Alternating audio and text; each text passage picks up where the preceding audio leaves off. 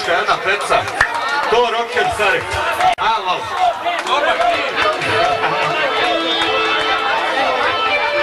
Evo ovako, pjesma za i naše legende vaše legende 4. decembra, sve ostalo. Alo!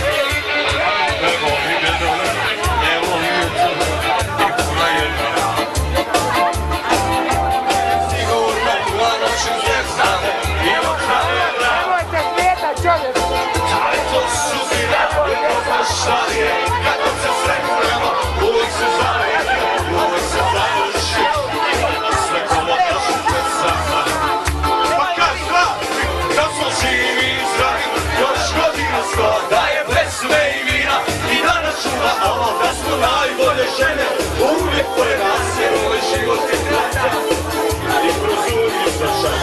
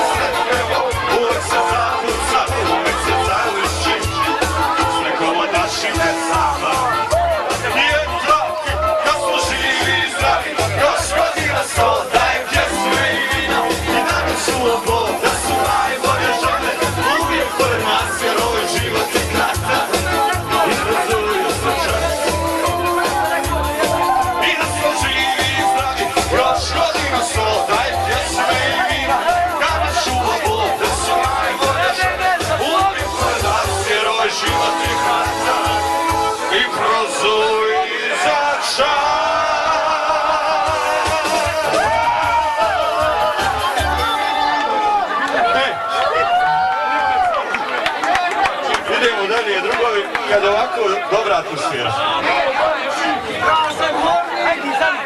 Ajmo momci.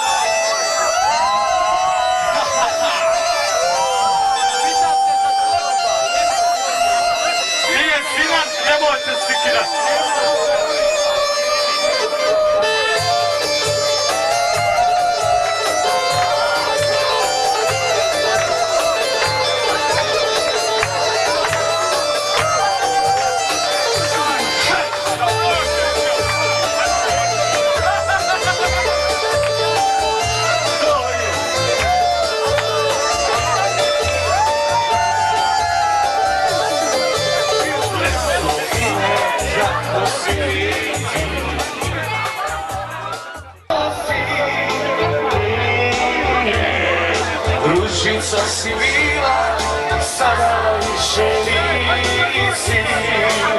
Pa kažem, sve